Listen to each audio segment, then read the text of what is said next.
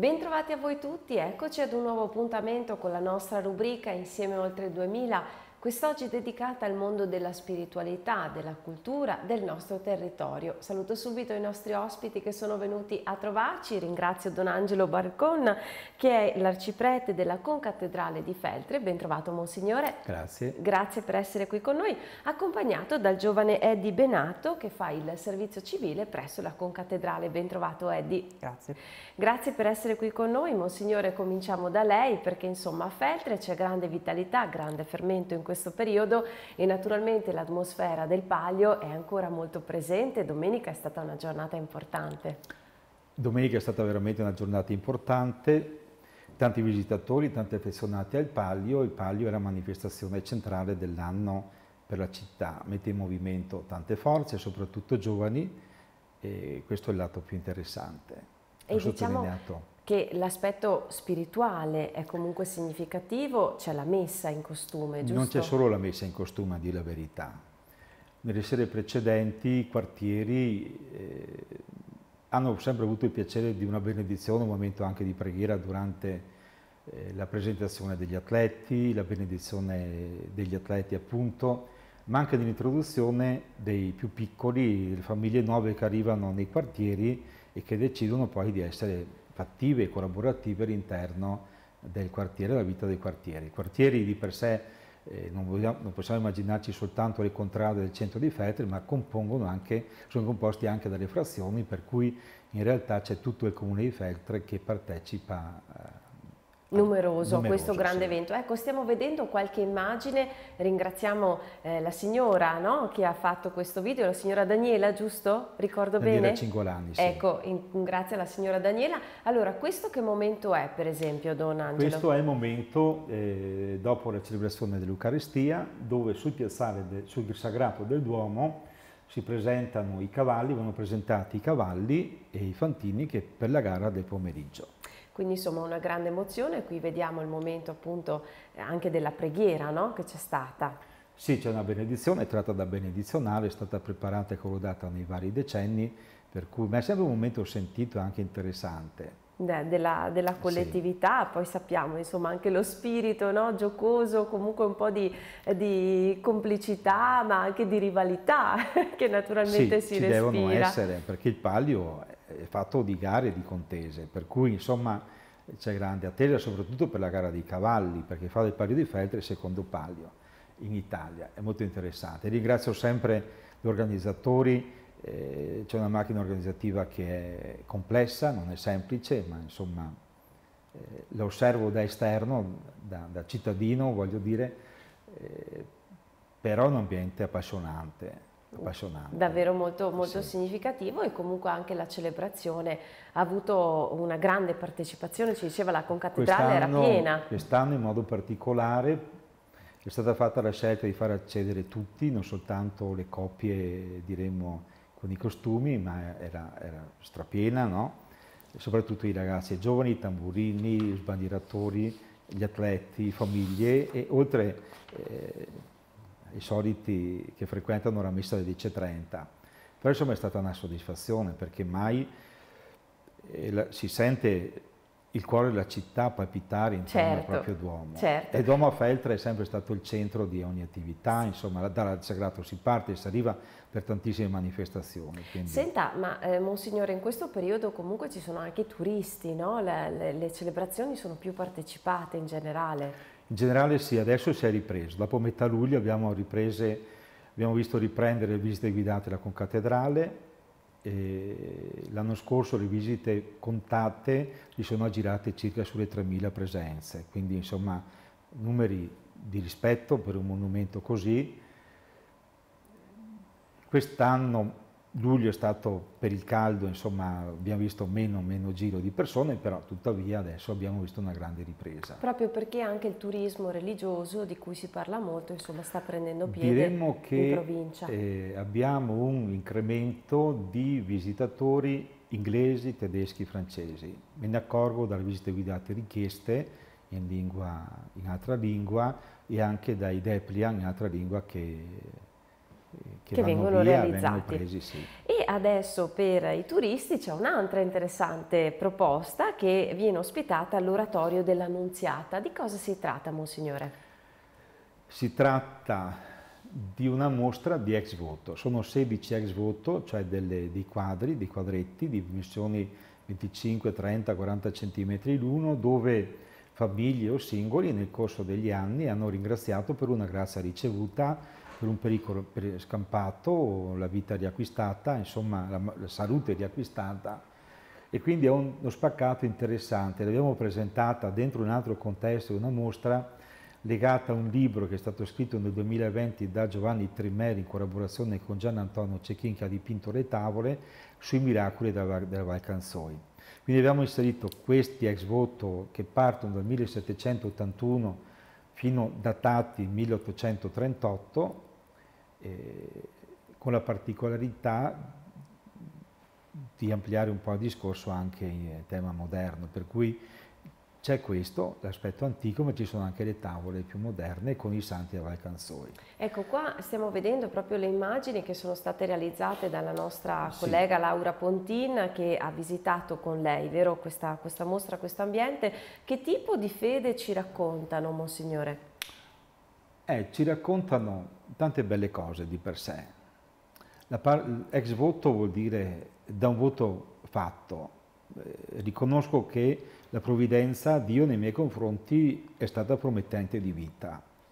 Allora abbiamo eh, un tempo, un'epoca in cui magari nei grandi santuari troviamo grucce piuttosto che l'immagine di una testa, di una mano, di un braccio, una gamba. Abbiamo questa evoluzione nell'arte anche arrivati appunto ai dipinti. Questi dipinti sono interessanti perché eh, ci mostrano interni di palazzi, interni di abitazioni, eh, costumi dell'epoca, eh, lavori, no? modalità, poi problemi della salute, l'incendio, piuttosto che il naufragio nel piave di un, di un giovane che si vede salvata la vita, però parlano di una forte devozione per esempio a Sant'Antonio e soprattutto alla Madonna della Pietà, con la Pietà, la Pietà che è stata raffigurata dai fratelli d'Amello nella cripta della concattedrale, di cui c'è un esvoto che è servita agli storici per ricostruirla prima della, di quando fosse chiusa e utilizzata come cappella invernale dei canonici sotto l'abside della fine del 400. Però ci raccontano di una fede del passato o comunque ancora oggi si pratica Ma questa, a mio avviso questa realtà il bisogno voto, di no? agganciarsi nei momenti di difficoltà a una forza, no? ce, ce l'abbiamo tutti. No? Quando non ce la facciamo le nostre forze, eh, per parte de, de, della nostra umanità, chiedere aiuto, cioè sto male, vado dal medico, insomma. E quindi c'è sempre il bisogno di qualcuno che dall'esterno intervenga e questo è un fenomeno religioso che attraversa la storia dell'umanità, almeno dell'uomo di Neanderthal, da quando si è cominciato a studiare il senso religioso dell'umanità, da quando ha avuto consapevolezza e tecnica di cambiare la realtà. Qui eh, vedo che la devozione a Sant'Antonio eh, è universale, i quadretti raffigurano Sant'Antonio che si rivolge alla pietà, e questo è interessante, c'è questo sempre dialogo. Abbiamo anche un ex voto con San Gaetano d'Attiene, c'è una cappella in via Paradiso nel Palazzo de Mezzan, domani, eh, il 7 agosto è la sua festa, quindi c'è anche la storia di un'evoluzione della spiritualità feltrina.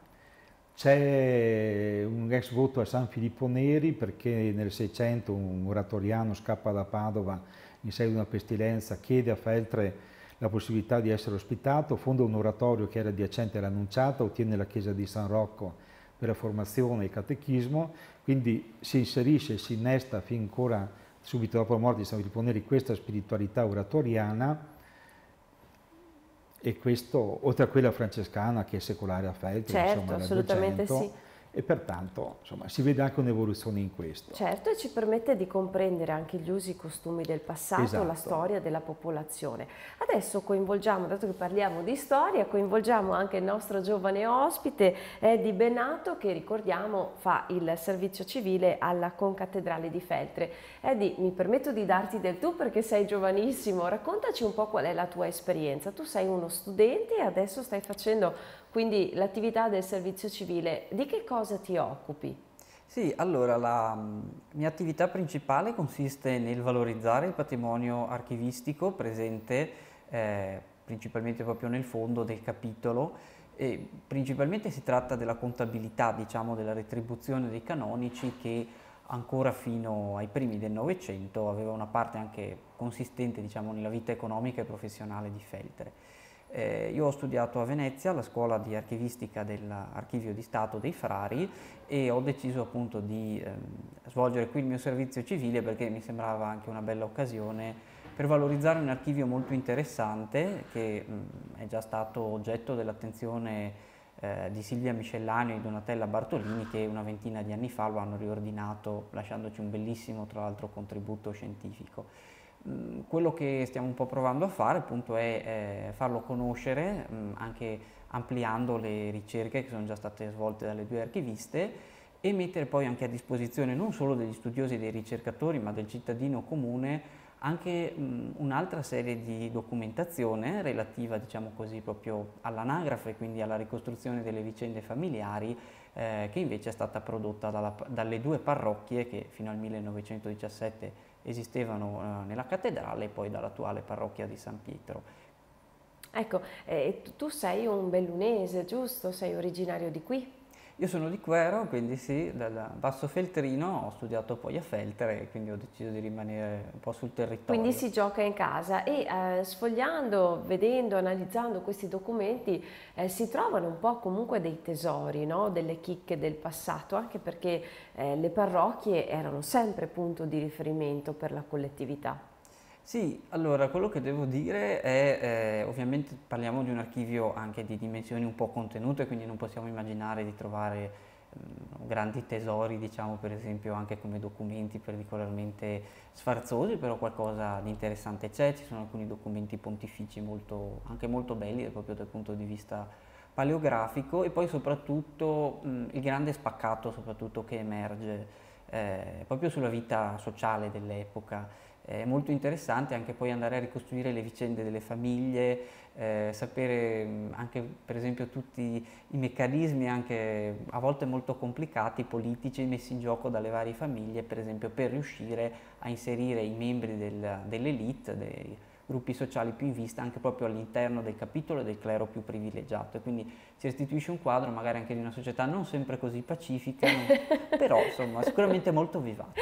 Eh certo, è interessante e accattivante. Eh, Monsignore, eh, è un'attività preziosa, no? un aiuto importante quello che sta dando. È un'attività preziosa, decisamente preziosa io direi, per i fondi che ci sono nel capitolo sì, sono sempre stati studiati in base a interessi, diremo, occasionali. Uno dei grandi conoscitori dei documenti del capitolo fu Mario Gaggia, storico feltrino conosciutissimo, che ha dato un impulso insieme a Giuseppe Biasuzzi e altri prima degli anni 20 e anni 30 in maniera consistente. Il capitolo poi eh, è riuscito a salvare da tante depredazioni molta documentazione è logico che avendo, essendo stata sede episcopale fino al 1986, anche molti documenti che riguardano la vita della cattedrale fino allora e sono in curia a Feltre, ma grazie anche alla collaborazione con Don Credo Docente riusciamo a, a, a, mettere insieme tante cose, alcune bolle di nomina di alcuni vescovi sono su in curia, altre vicende di vescovi non italiani eh, che sono passati per la città di Feltre eh, perché nominati dall'imperatore piuttosto che, ecco, quindi ci aiuta, aiuta sicuramente.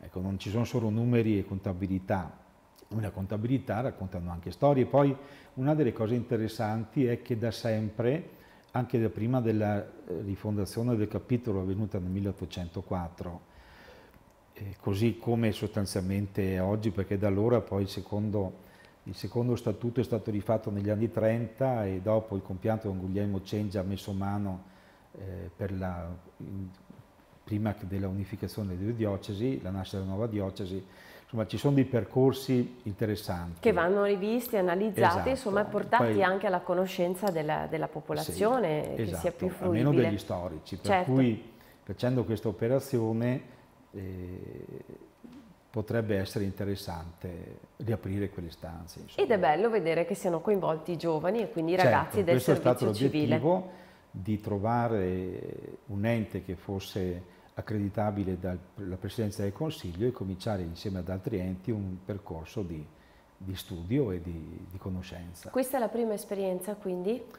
Per la concattedrale sì, e speriamo poi che si estenda ulteriormente. Senta, eh, Monsignore, dobbiamo ricordare per la mostra degli ex voto di oggi e di ieri le tempistiche e eh, come fare, no? magari per chi ci ascolta. sono così, adesso noi abbiamo aperto mattina e pomeriggio fino al 20 di agosto, due ore alla mattina e due ore eh, pomeriggio, quindi dalle 10 a mezzogiorno, che è l'ora più di passaggio sotto il volto del Duomo per dire no, sagrato eccetera e il pomeriggio dalle 4 alle 6 abbiamo dei ragazzi e dei giovani che si sono attrezzati per essere presenti.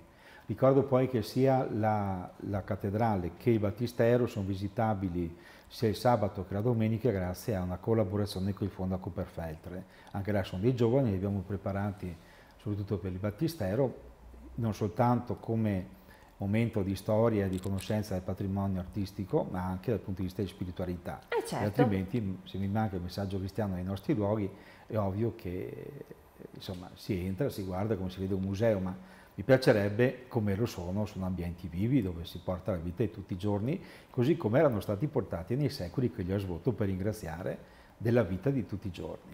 E su questo messaggio quindi conclusivo di Monsignor Balcon noi ci salutiamo, io ringrazio il nostro giovane ospite Eddie, ringrazio ancora Monsignore per essere stato con noi, buona estate e poi ci, ritroveremo naturalmente ancora per Grazie. raccontare le tante attività che accadono. Grazie. Grazie. E a tutti quanti voi buona continuazione d'ascolto, arrivederci.